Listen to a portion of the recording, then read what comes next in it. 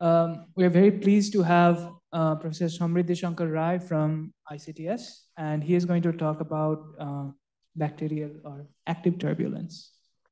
Thank you. Let me uh, begin by thanking Tapomoy, Sumantra, and Christina for the invitation.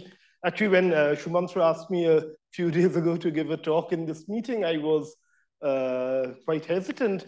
Uh, and the reason for that is uh, I work on turbulence, on what are sort of high Reynolds number inertial turbulence. My knowledge of active systems won't last the full hour, so I won't go till the bitter end, but I'll sort of finish uh, hopefully well before that.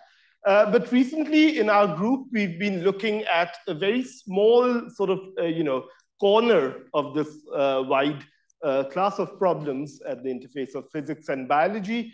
And uh, let me try and sort of tell you a little bit about what we've been doing.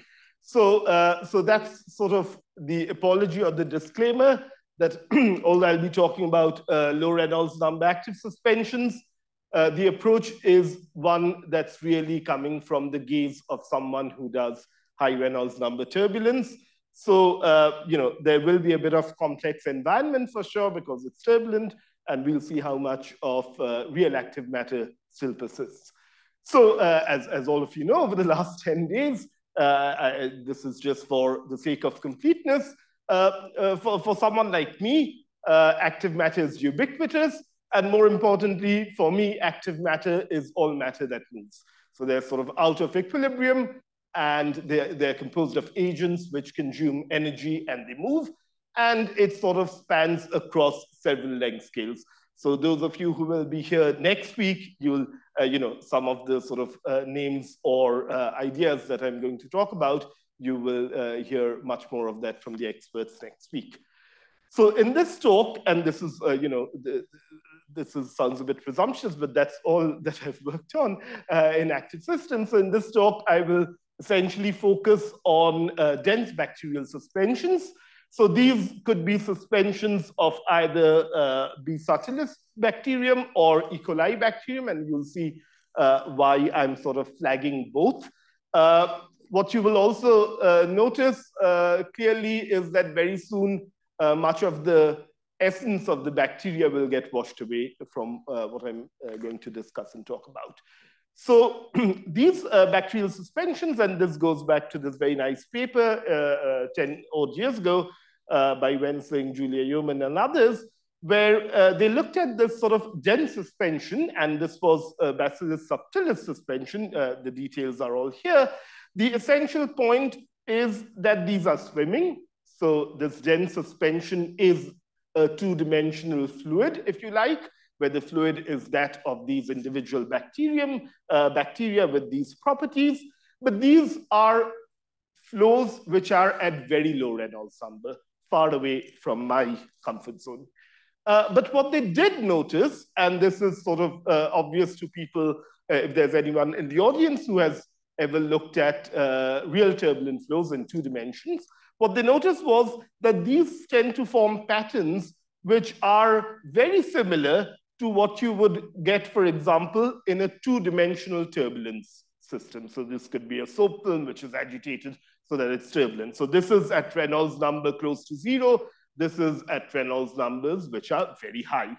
So this sort of analogy between these two figures, if you like, sort of gave rise to this whole field of uh, to, to best of my knowledge, this whole field of active turbulence, uh, which essentially concerns with the dynamics of low Reynolds number active suspensions and the fact that they sort of remind one, uh, reminds one of vortical chaotic high Reynolds number turbulent flows. And, and, and so, so uh, this is really the starting point uh, for, uh, for us.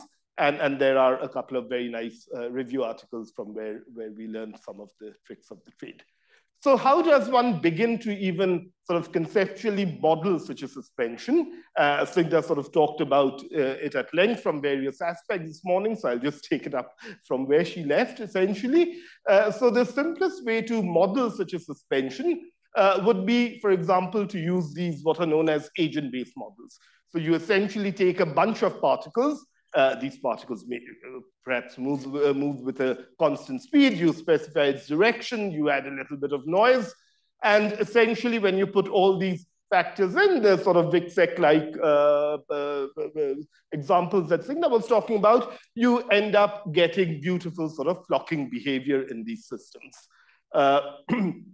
And so sort of this work, of course, goes back to this sort of uh, fundamental paper uh, some 25, nearly 30 years ago by uh, Vicsek and others, who sort of showed that there is a novel type of phase transitions in these systems, and essentially just simple agent-based models give rise to an emergent collective dynamics, which is quite interesting. So uh, more recently, uh, uh, I'm not going to talk much about this, but more recently, using similar microscopic approaches, so complex environment, uh, you know, we have been sort of looking at the motion of uh, swimmers in essentially a high Reynolds number turbulent flow to actually understand if turbulence can, uh, you know, in some way offset the degree of flocking, because we all know that turbulence leads to enhanced mixing. So are there ways in which the right size, the right shape of a sort of micro model, micro swimmer actually matters uh, for one to sort of see these nice flocking behavior. Uh, one can also extend this. Uh, you know, we've been sort of uh, looking at these uh, filaments, uh, which are essentially simple sort of bead spring model, if, if, you like, or some sort of some sophistication of that, but not, not much really, which also, you know, so the background here, if you wish, is high Reynolds number water. So let's say this is, you know, in a pond, in a marine environment, which is really turbulent, where uh, either these uh, sort of uh, chaps are swimming or flying, or these sort of filamentary objects are moving. So the microscopic approach, of course, you know, uh, uh, several people, and some of them, you know, will be giving lectures next week, uh, sort of also incorporates more realistic models of, of, of these sort of active matter, you know, where you sort of think about self-propelled rods, you actually incorporate more of the physics, more of the biology, more of realism in, in, in trying to model these systems, but building up from a microscopic picture. And so you can sort of think about polar particles, apolar particles, self-propelled rods, all of these, and they sort of tend to give you uh, several different kinds of ordering uh, uh, of these particles. So that's not what we are going to talk about in this uh, today for the next 40 odd minutes.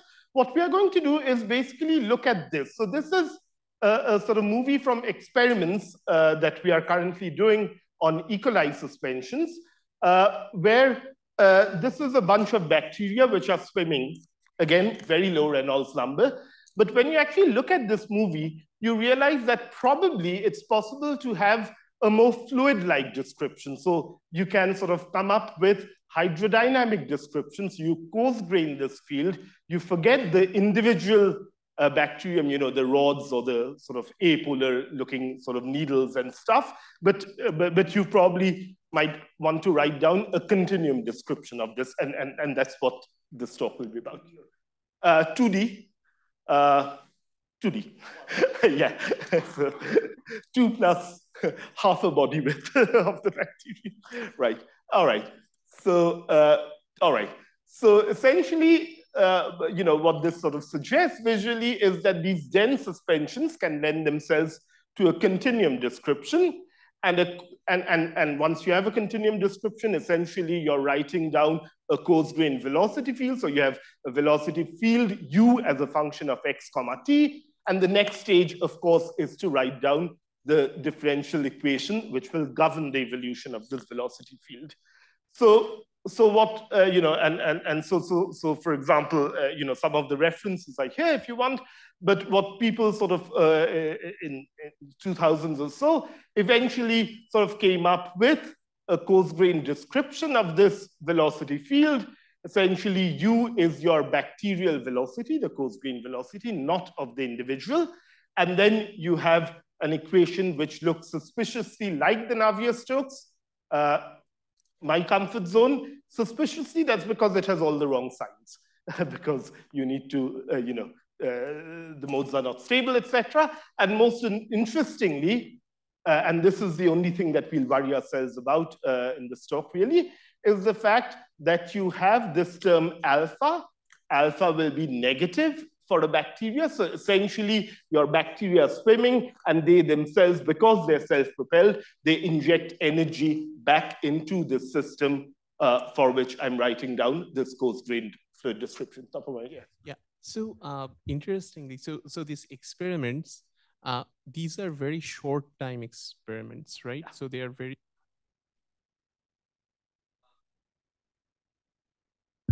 Okay, so I think at some point. It's the state of the bacteria, don't worry. Yeah, I can hear you.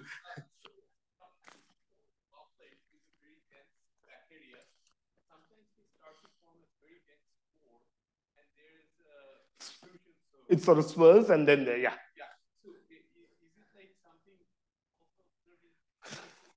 So we didn't exactly observe that, but there were dead patches that we initially had seen, which was when that cover slip was put, put on top of the bacterial film. There was some element of dirt somewhere, but not exactly the one you're talking about, whereas that's a much more sort of natural phenomena. In our case, it was debris.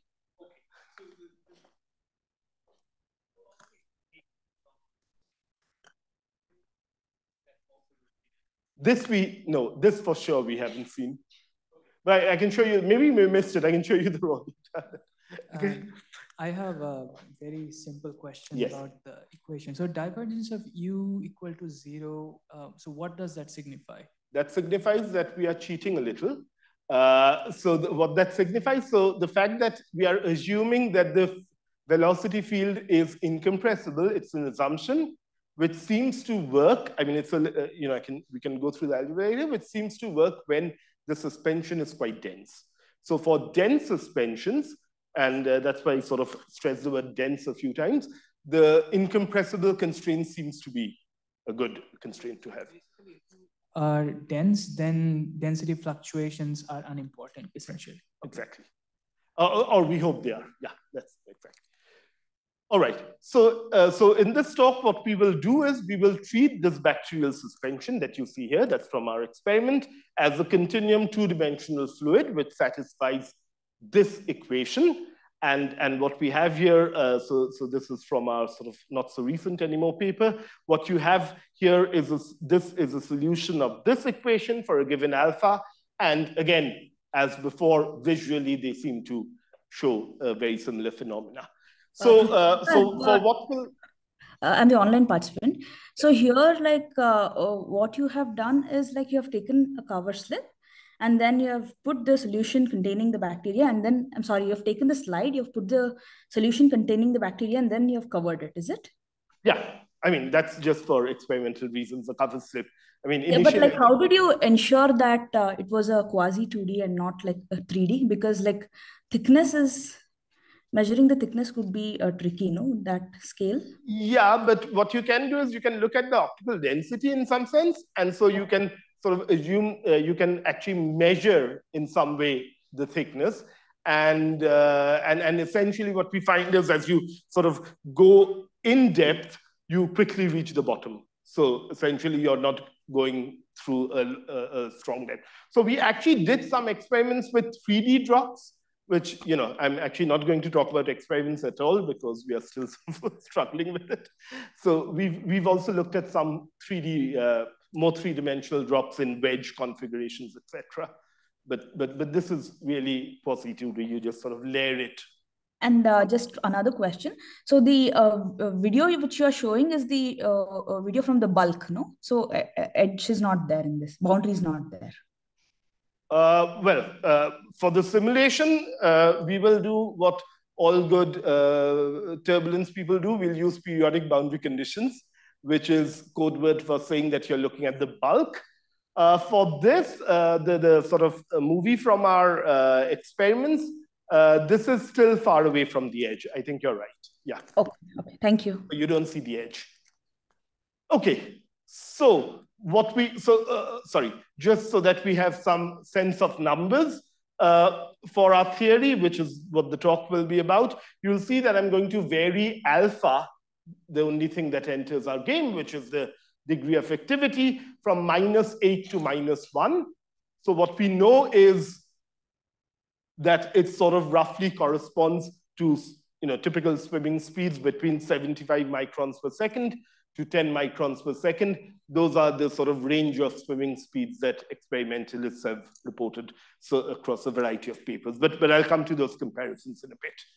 So the first thing that one notices is, uh, trivially, is, uh, and now I've moved away from our experiments, is that when you solve this equation and you start changing alpha, so this is a less active suspension, more active, even more active, understandably the flow looks different. The flow starts to sort of become more violent, as it were. So what we wanted to ask, and that's where the sort of inertial turbulence thing comes in, uh, uh, are essentially two questions. I'll sort of, hopefully I'll be able to get uh, to both of them. The first is, in what sense are these low Reynolds number flows turbulent? That's because, you know, classically we associate turbulence with a high Reynolds number phenomena. And secondly, how is this emergent complex flow beneficial to the bacterium? Hmm, I'll, I'll sort of skip over the second question, uh, but, but, but I'll, I'll, focus on the first question a little more. All right, so uh, uh, by, by we, I'm sort of using royal we. So this work was essentially done by uh, former postdoc Shiv Datta, who's right now visiting University of Nice and will move to, as a faculty to Kanpur shortly, IIT Kanpur. Rahul Singh and uh, Martin were my students. Rahul is now a postdoc at OIST Japan. Martin's a postdoc in Italy at the University of Genoa. And if you want more details, so essentially I'll sort of basically cover uh, the, the, the, you know, uh, the work that were reported in these papers. All right, so change of tack, because we wanted to ask the question, in what sense are these flows turbulent? This is not a turbulence audience, so let me sort of spell out what I mean by you know, real turbulence, if you pardon me for uh, sort of uh, ascribing high Reynolds as the real stuff, uh, uh, and, and, what's the sort of litmus test that we want to do. So turbulent flows are, of course, commonplace, and you see them everywhere. Uh, most flows in nature are turbulent. And uh, so fully developed turbulence has these sort of telltale signatures. They are chaotic, they're irreversible, that's because there's finite viscosity, of course. They're intermittent, and they have multiple length and time scales. So let me sort of, the chaotic uh, and the fact that it's irreversible is not something that's going to surprise you. Let me explain a little bit what we mean by intermittent. So this is a good sort of graph or even this to look at the question. So this is a measurement, I think from a wind tunnel, of the rate at which energy gets dissipated in a high Reynolds number flow. So for most sort of systems that you will be familiar with, you'd assume that the dissipation rate is kind of constant. So you inject energy constantly, you should dissipate energy constantly across time. Turbulence is a very special beast. If you actually measure this, what you end up having are these strong spikes followed by very quiescent behavior. So there are times, there are long time windows, and this is true if I took a spatial measure of this object, where nothing happens, and then you get a whoop, a big spike in the dissipation, then again things are quiet. This is, you know, one of the ways in which we'll quantify these things a little more as we go along. But if you want to think of intermittency, you can think about the fact that signals in turbulence have this sort of on and off behavior. Uh, you can, you know, this, for example, from Antonio's work is a sort of passive scalar. So think about dye, uh, dye uh, in, in a turbulent flow. And what you end up having are these sort of strong boundaries between where things are concentrated a lot and when, where things are not concentrated a lot. So all of this sort of gives rise to these two sort of well-known effects uh, in turbulence. One is that tur turbulent flows are scale invariant.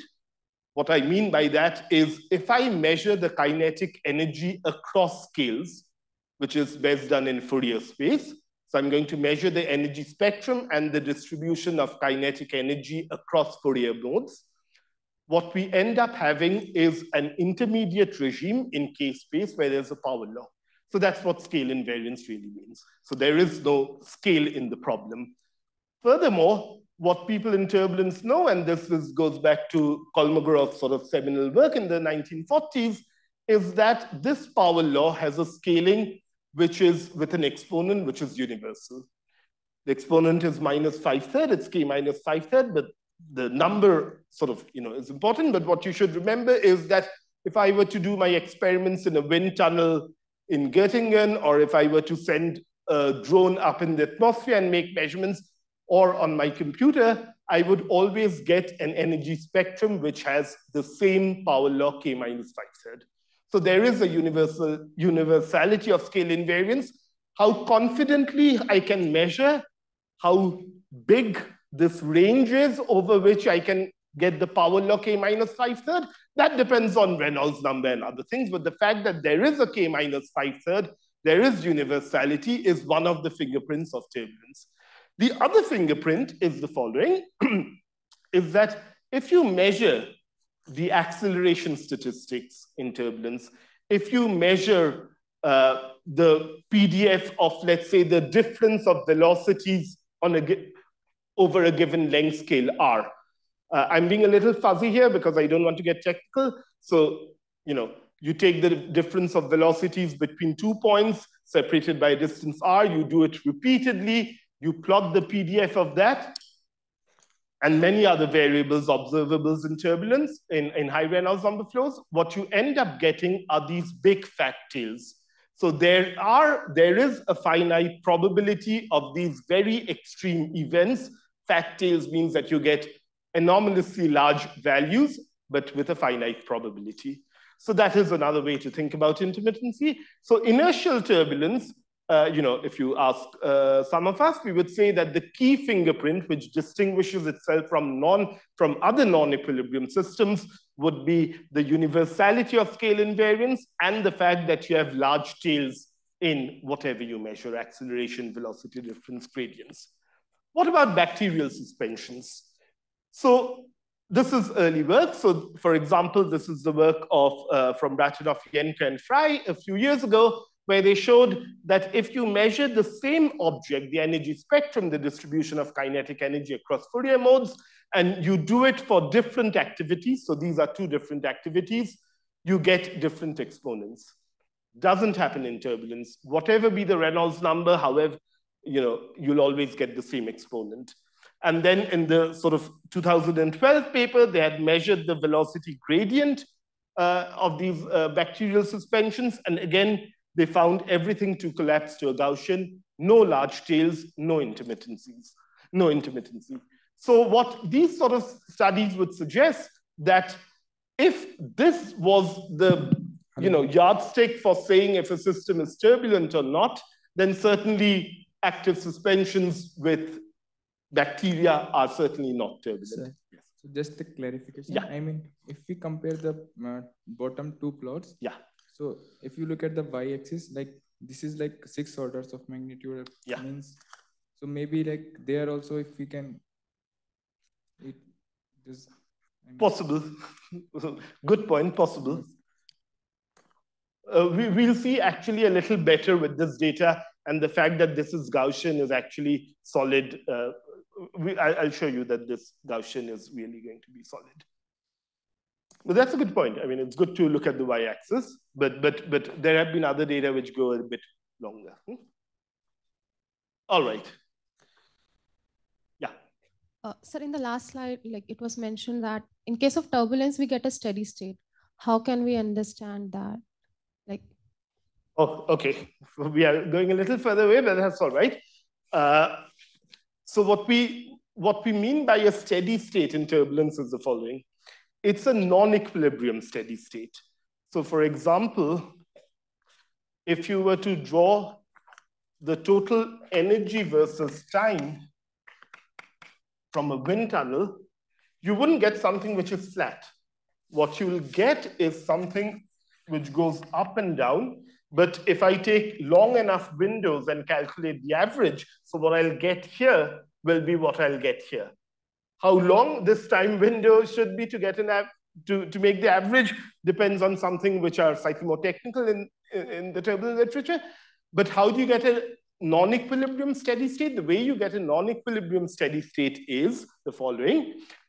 We are injecting energy in the flow, right? It's, it's as simple as you know taking a cup of tea and stirring it. All right, if you like, you know, sugar in your tea like I do, so you stir it. So that's how you are injecting energy. Now, because of the nonlinearity, the energy gets transferred to smaller and smaller scales till it gets transferred to scales which are small enough for viscosity to be important. And that's where the energy that you're pumping in at large scale is sort of sucked out by viscosity, converted into heat at small scales. So on average, for a non-equilibrium steady state, on average, over a long enough time window, the amount of energy you've pumped in at the large scales is equal to the amount of energy you're sucking out at small scales, right? That's a sort of quick answer to a more difficult question. How are we sure that we do get a steady state here? It might be possible that we don't get steady state. By here, you mean in turbulence? Uh, by measurements. So, uh, so you measure things long enough you roughly have an estimate of the time scales which are involved in the problem. So you're going to measure multiples of those time scales till you actually see the energy sort of fluctuating, but sort of constant. You actually see the formation of an energy spectrum, which can be measured uh, both, you know, in an experiment eh, eh, eh, in, in my code, that's easier to do. You can measure the energy spectrum and you can see the K minus five third, et cetera, et cetera. Yeah, while you ask, let me try to find my point. Yeah. Yeah, uh, so is uh, intermittency a consequence of scale invariance? No. So the question of the origins of intermittency is still shrouded in mystery. I mean, it's sort of related, you know, it, it probably has to do with the fact that there are questions in high Reynolds number flows which are probably interlinked and shrouded in mystery and sort of going further and further away from the top, uh, which has to do with the fact that probably there are finite time singularities. Is intermittency related to that? So we can have a discussion on this, all right? But there's, there isn't a quick answer to your question. Is there a microscopic theory about why turbulence is intermittent? The short answer is no. Yes. Um, I have a question. Maybe it's slightly off topic, but uh, maybe say a few words of how how do you measure an energy spectrum in an experiment? I I mean, I understand in simulations you'll have velocity uh, data and so on, but um, I mean, yeah, maybe just. So in an experiment, what you do is, I mean, there are several ways to do it, but one way, for example, you can stick a hot wire anemometer in the flow, which is at one single point, all right? And then what you can do is you can calculate the velocity differences across scales by using what's known as the Taylor's frozen flow hypothesis. So you assume there's a mean flow, etc. So what you can measure in an experiment is certainly fluctuations of the velocity field at a given point. Now that is a temporal measurement, which you can then convert to frequency space. And from there, you can calculate the energy spectrum in an experiment. So you can measure the temporal fluctuation quite easily. There, there are sort of other ways also in which people do it. I mean, yeah. Okay. in numerics, you take the velocity field, do a Fourier transform, and take the mod squared of the field. As you said, it's trivial in, uh, uh, for me to do. All right. Okay. So I, I I don't really need to finish the talk, so I'll sort of give you the basic idea. All right, so, okay, so where were we? All right, so, so in, in 2022 or so, we were here, and the question that we wanted to ask was, then why do people call this suspension turbulent? So let's try to look at that question. So this is the sort of punchline of this work. So you can look up uh, the details. So this is from a few months ago what we sort of find is that there is a critical activity. So you take your bacterial suspensions. I mean, Slinger was talking about suspensions where you put in more alcohol to slow things down. So you take a bacterial suspension, you feed the bacteria well enough so that it starts to becoming it starts to become more and more active. So in words, what we find is that as you make these suspensions active beyond a critical activity, and I'll be a little more careful about the word critical when I come to the next set of data, if you're coming from a sort of critical phenomena uh, background. So what we've seen is that when you sort of push the bacteria beyond a certain activity, then an approximate scale invariance emerges with a universal scaling exponent. So what we mean by that is that if, uh, you know, if we extend Bratanov-Jenko and Frey's work and, you know, we push the activity even more, eventually after a point, we should see a k minus whatever, and that minus whatever will not change if I keep on increasing activity. Okay, so that's the sort of bottom line to this. So I should add a caveat that these are consequences of the equation of motion. We have some experimental evidence, which I will show, but we need some more experimental support. So as I said, at some point, I'll forget the bacteria and I'll just play around with the equations which, are, which they're supposed to follow. So, okay, definition. So this is how I define the energy spectrum. So I'll go through this, but in case you do not follow the next couple of steps, don't worry, we'll come to the final result. Never mind how we got there. I mean, except let's hope that we got there correctly without mistakes. So what we can do is we can define the energy spectrum. That's just the sort of UK hat, UK hat. And the ansatz is that it scales as k to the power delta. Remind you, inertial turbulence, delta is always minus five third. Bacterial turbulence, uh, uh, Frey and his group had shown that this delta varies as a function of alpha. That's the sort of central point. So then what we can do is, uh, and, and this is a sort of uh, field theoretic technique that one can use, essentially we take the governing equations. This is a nonlinear equation, so it's not amenable to uh, analytical solutions. But what we do is we keep on multiplying these equations with use and use and use and use till we end up having four use correlators, which are u, u, u, use. And then we use the standard Qmillan thing, which is to break up uh, four correlators into products of two correlators. So that's essentially the closure model. I'm not sort of going to discuss too, uh, you know, too much of the technicality, but I can tell you the following. So once you play this game, and this is the effective equation. So when you play this sort of closure game, you can write down an approximate equation, assuming the closure to be valid, for the energy spectrum EK, and you connect it with what's known as pi, which is the flux of energy going across the Fourier modes, right? So the energy spectrum is the distribution of kinetic energy across Fourier modes. The energy flux is the amount of energy which is going from the left to the right. That's all. So then one can sort of solve this equation analytically and, and, and, and, and then one can make certain suitable ansatz on, on it. And, if, and essentially what one is able to get at is that for activity, which is, for systems which are less active than this critical activity. The reason why the greater than sign is, it's not a typo, but alpha comes with a minus sign, that's all. Uh, then you are able to show that this exponent is indeed alpha dependent, exactly what Bratanov, Jenko, and Frey had shown.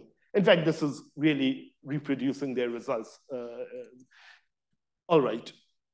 However, when you postulate that there is a certain high, uh, there is a critical activity, which you can actually, again, from this model, you can analytically see what that is. You can end up showing that the energy spectrum is k minus 3 halves. So here the energy spectrum is k to the power delta, where delta is a function of activity. When you cross the threshold alpha c, you end up with a universal behavior of the spectrum, which is k minus 3 halves. So for those of you who want to know exactly where alpha c comes in in the analytical calculation, we'll sort of discuss it after the talk because probably it's sort of, you know, put all of you to sleep. Yeah.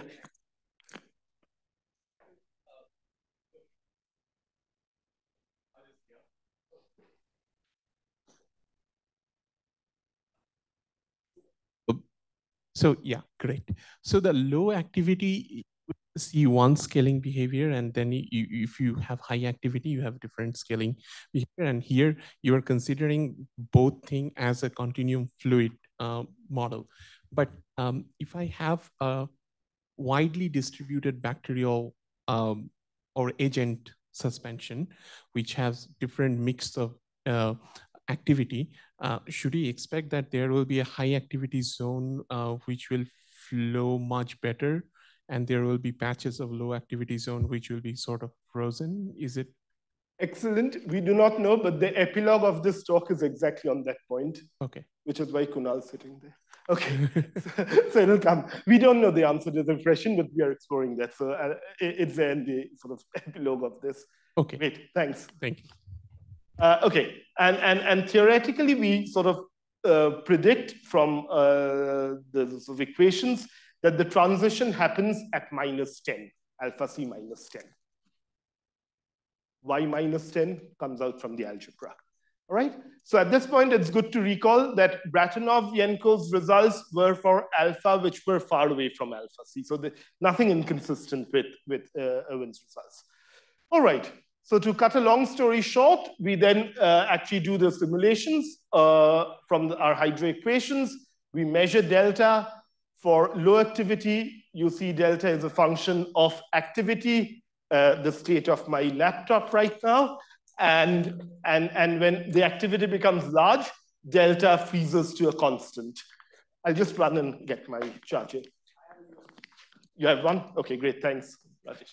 All right, what we do see is that from our numerics, the transition seems to happen more at minus five and not minus 10, which was our uh, theoretical result. We tried our best to see if we missed on a factor of two somewhere. We didn't find it.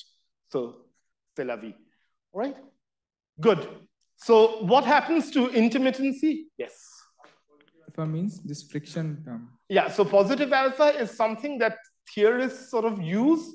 It's really a frictional term, but, but okay. So there was how can you see this bacterial turbulence there? No, you don't. I mean, as I said, the equation admits okay. negative alpha.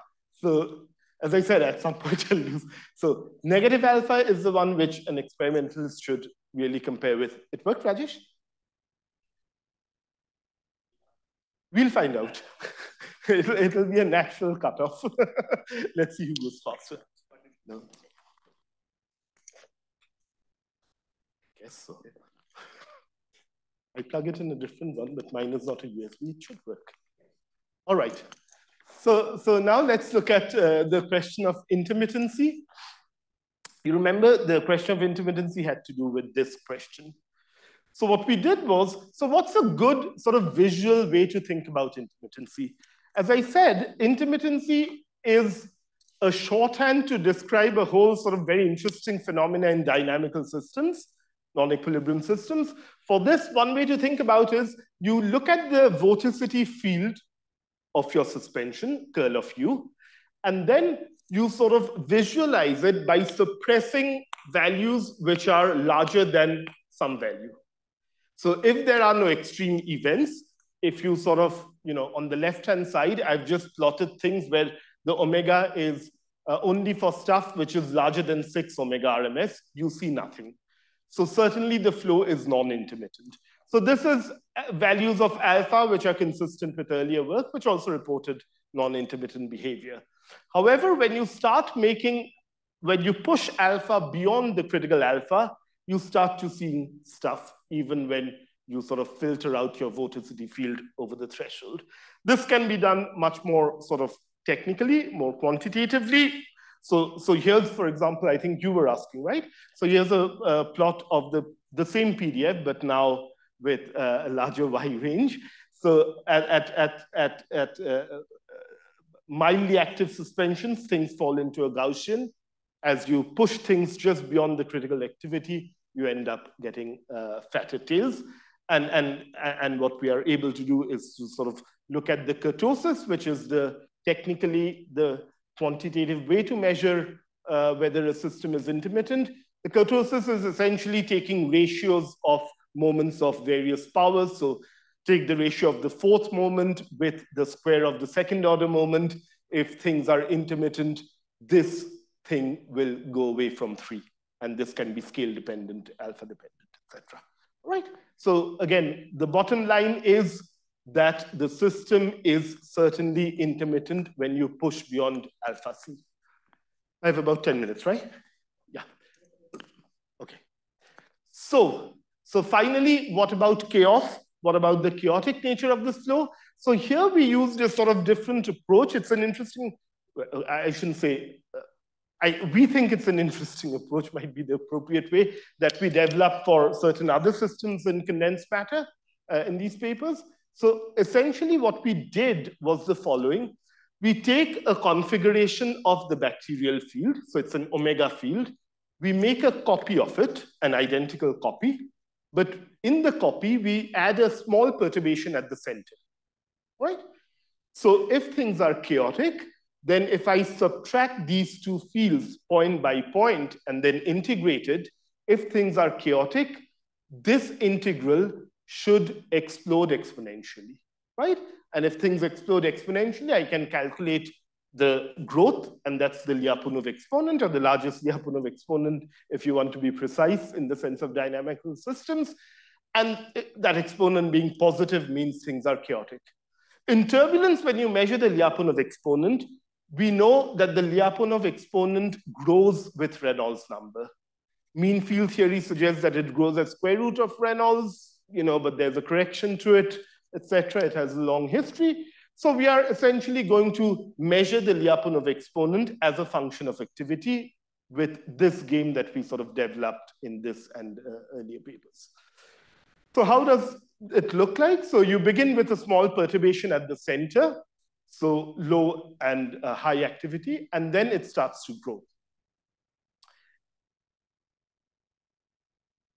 And you can immediately guess which is the more active system or which, which turns chaotic much more quickly because then it starts to resemble the original flow.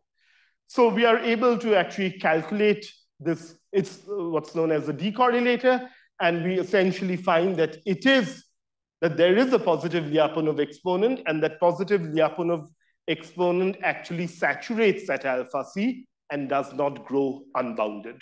This is quite different from high Reynolds numbers, where the Lyapunov grows in an unbounded manner. All right, so this is sort of, you know, I, I sort of, I apologize, but I sort of try to summarize, uh, you know, what we have been doing uh, with, uh, with these suspensions from the tools that we are familiar with in, in high Reynolds number turbulence. Can I ask a question? But there's, yes. Just a quick question. So yeah. um, on the Lyapunov exponent, so is it true that you have It's a two-dimensional system, so the way you're thinking about it is going to be two, where lambda one will be minus lambda two because of incompressibility. But here we are sort of looking at, in some sense, the largest one. Huh? So what we are measuring is essentially the Lyapunov exponent that you're going to associate with the decorrelator. No, so uh, no, so so what we, the way we get it is the following. I mean, this is a method that was developed uh, in ICTS by uh, you know many of us, but led really by Subhro. Uh, this is an approach known as the decorrelator approach. So again, the genesis of this goes to certain problems that people did in quantum field theory, which was things like the out of time ordered correlators. But for classical system, all it means is the following. I mean, I'll, I'll explain it as simply as I can. You take a configuration, you make a copy, all right? So in the copy, at one point, you make a small, tiny little change. Right? And now you calculate the difference point by point between these two copies. All right? So maybe it's, you know, for example, if you have a bunch of spins like this, right? I don't, all right? You make a copy of this configuration identical, but let's say you tilt the spin in this direction, right? Or in our case, I have the flow field. I make an identical copy, except here I make a little change, right? And now I'm going to calculate the difference between these two fields, right, at every point. At t equal to zero, the difference will be zero everywhere except at the center where I've made the change, right? Now, because, and then I evolve these two fields, which follow the same equation independently. As it evolves, the fact that there was a slight difference here, that information starts to propagate. So after some time, the difference between these two points will no longer be zero, but it will be finite. Now I can sort of, then I can integrate things over and maybe, I, you know, the rest I can tell you, but that's the idea. And so you are going to see how this difference sort of grows in time, whether it grows exponentially. Uh, if it does, then you have a, a Lyapunov exponent. Right? I hope, yeah. All right. So, so we've sort of skirted around the question of are these bacterial suspensions really turbulent? Let's sort of, for five minutes or seven, whatever, dwell on the fact that how, how is this emergent flow? I mean, the individual bacterium presumably doesn't care whether the scaling exponent is minus three hertz or not. I have no idea, I'm not a bacterium, but I assume it doesn't care. So what are the implications of this critical activity for the bacteria itself? And the way, you know, the naive way that we tried to look at this question was to ask, is there an advantage for this emergent flow for an individual in terms of, let's say, foraging? So can it use the fact that it is in this bath to move around much quicker? All right, so what we are going to discuss is what is the implication of mixing. So to do that, what we do, I mean, the way one does normally is to take this flow, but now I put in tracer particles. Tracer particles would be like in an experiment if you put a blob of dye, and then you see how the dye sort of moves, right? So these are my dyes, they're sort of helpfully colored. So these are for different activities, and they just tell you how an, a tracer in this bath will start moving. What we found was uh, a very interesting behavior. What we found was, so this is a plot where I've shown trajectories for three, four different levels of activity colored in different ways. For visualization, we've just taken all the trajectories and put it in the same origin. What you, I mean, if you were to notice, you'd see that at lower, uh, when things are not very active, these things are meandering, just like a random walk. However, when things cross alpha c, which is minus 5, then you have trajectories or a bunch of trajectories which do not meander, but they actually go in straight lines. And you have a bunch of trajectories which does the usual Brownian stuff. So beyond the critical activity, there are trajectories which are both persistent, and then there are trajectories which are diffusive. So let's not, uh, you know, we don't have time to actually see where they come from, uh, except if you want, let me highlight Dhananjay's paper, which was uh, some experiments that he had done. I'm not involved in this, uh, where, where, where he found stuff that we had seen uh, sort of. So you can discuss with Dhananjay.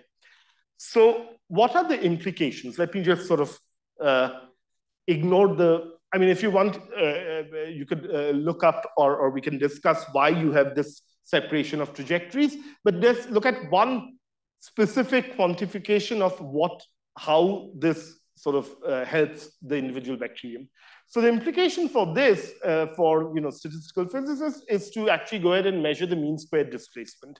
So we can measure the mean square displacement in the flow, and we know that the mean square displacement should be ballistic at short times, and at long times it should be t to the power xi, where xi 1 being diffusive, and less than one greater than one subdiffusive or superdiffusive. So, uh, so what we find is the following. So this is at low activity. What we find is that indeed the mean square displacement is t squared followed by t. No surprise, this was reported earlier. So this was uh, Ashwin Joy's group at IIT Madras. But even before that, there were a bunch of experiments which actually sort of claimed that you get this diffusive behavior. But when we pushed our activity, so this is low activity, T, but when we pushed beyond the critical activity that our theory suggests, we find that the system becomes super diffusive or T to the power four third. I mean, the actual exponent doesn't matter as long as the fact that it's sort of, the actual exponent matters in a different way, but, but not for what I'm saying right now. The interesting thing was that when we found this, we sort of looked around and we found that an earlier work by uh, Ariel and others uh, from 2015 actually was one of the few experiments which sort of claimed that they found super diffusive trajectories in bacterial suspensions. And then when, because we had this cookbook in which we can compare our alpha to the actual swimming speeds in experiments, we realized that those experiments were done with bacterial which were fed enough sugar, pastries, what have you, for them to be active beyond the alpha C that we had predicted, whereas the experiments which reported diffusive behavior were done with suspensions which were still, uh, uh, still well below that level. And again, you know, just to sort of, uh, uh you know, because this made us feel happy that Dhananjay, I hope his experimental results haven't changed, but uh, when we saw this paper on arXiv, where in their set of experiments, they also see this crossover to the fourth head behavior. All right, so I'm nearly done, but all that remains to convince referees and friends is the fact that is this super diffusive behavior kosher? And there is a nice way in which, uh, in which one can do it. So typically, the super diffusive behavior is associated with Levy walks in the system.